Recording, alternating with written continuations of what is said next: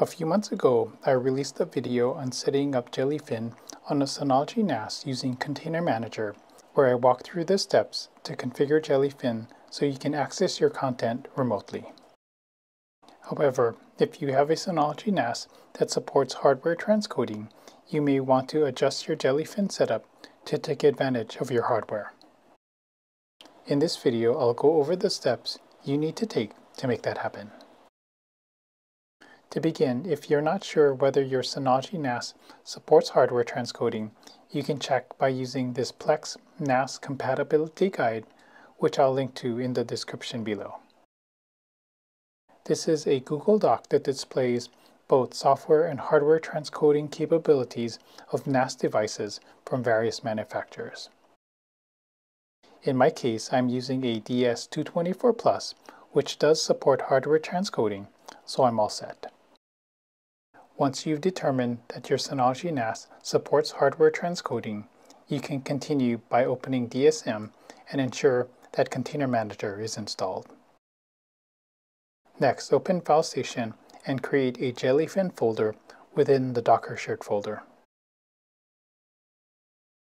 Inside the Jellyfin folder, create two subfolders, Cache and Config. Now open Control Panel select Terminal and SNMP, and enable the SSH service, which we'll use to get some information we'll need for configuring Jellyfin. After that, open Container Manager, select Project, and click Create.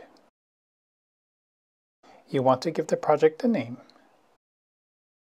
Set the path to the Jellyfin folder that was just created, then select Create Docker Compose.yaml from the Source pull-down menu and paste in the Docker Compose YAML configuration file, which you'll find in the video description.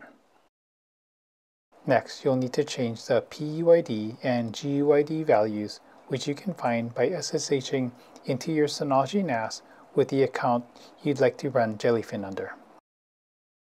Then run the ID command, which will give you the information needed. Replace the UID and GID placeholders in the configuration file with these values. You'll also want to update the TZ environment variable to match your local time zone. Now, confirm the volumes listed in the configuration match the setup on your Synology NAS. These are the same volumes I used in my previous video, so I'm good to go. Lastly, to allow for hardware transcoding, you'll need to pass the video device drivers of the NAS to the Jellyfin container, which is handled by the Devices section. Once that is done, continue the setup by clicking Next. Then click Next on the Web Portal Settings window, and finally click Done to download the Jellyfin image and start the project. After the project is successfully built and running, you can open a new browser tab and connect to Jellyfin by entering in your Synology NAS IP address followed by port 8096. You'll arrive at the Welcome to Jellyfin window where you'll first need to select your preferred display language. Next, set up a Jellyfin admin account.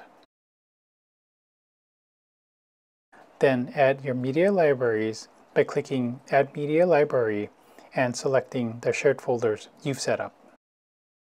Like my previous video, I'll first add a Movies folder, followed by a TV folder. Click Next through the remaining windows, then click Finish to complete the setup. Next, I'll log in, and since I'm using the same Movies and TV shared folders from my last video, some media will already be displayed. Next, I'll enable hardware transcoding by opening the Administration dashboard and expand the Playback menu, which brings up the Transcoding section. Here, expand the Hardware Acceleration menu and select Intel QuickSync QSV. Then enable hardware decoding for the formats listed. These settings are commonly recommended for Intel-based CPUs, so I'd suggest using the same settings for your setup.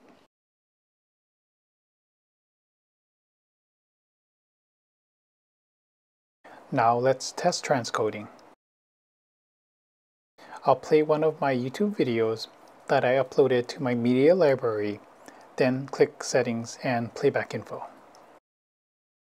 Since the play method shows direct playing, no hardware transcoding is happening because the browser can play the video directly without converting it to another format. To force hardware transcoding, I'll change the video quality to 720p 4 megabits per second.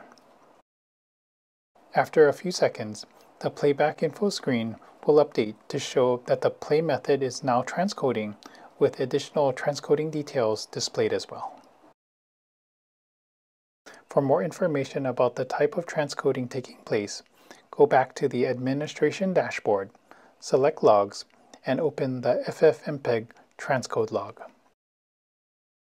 Under the Stream Mapping section, you'll see that the H.264 native format is being converted to HEVC QSV, where QSV stands for Quick Sync Video, which is the hardware acceleration option we enabled earlier.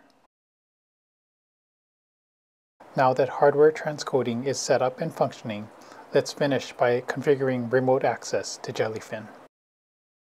We'll start by setting up a DDNS hostname using Synology as the DDNS provider.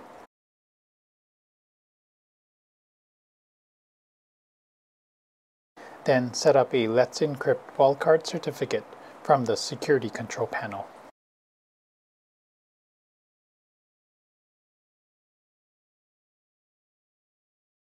Finally, create a reverse proxy to use the Let's Encrypt wildcard certificate. In this setup, I'm adding Jellyfin to the beginning of the DDNS hostname we created earlier.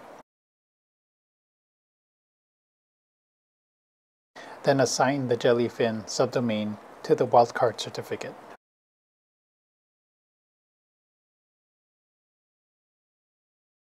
Lastly, configure port forwarding on your router to forward port 443 to your Synology NAS. Once all of this is set up, you'll be able to access Jellyfin remotely and securely with hardware transcoding enabled using the hostname you created. I went through the DDNS, Let's Encrypt wildcard certificate, and reverse proxy setup quickly, but for further details, check out the video linked on screen. Also, check out my previous Jellyfin video if you want to set up Jellyfin without hardware transcoding. If you'd like to support my work or hire me for a project, check out the links on screen or in the description below. Thanks so much for watching.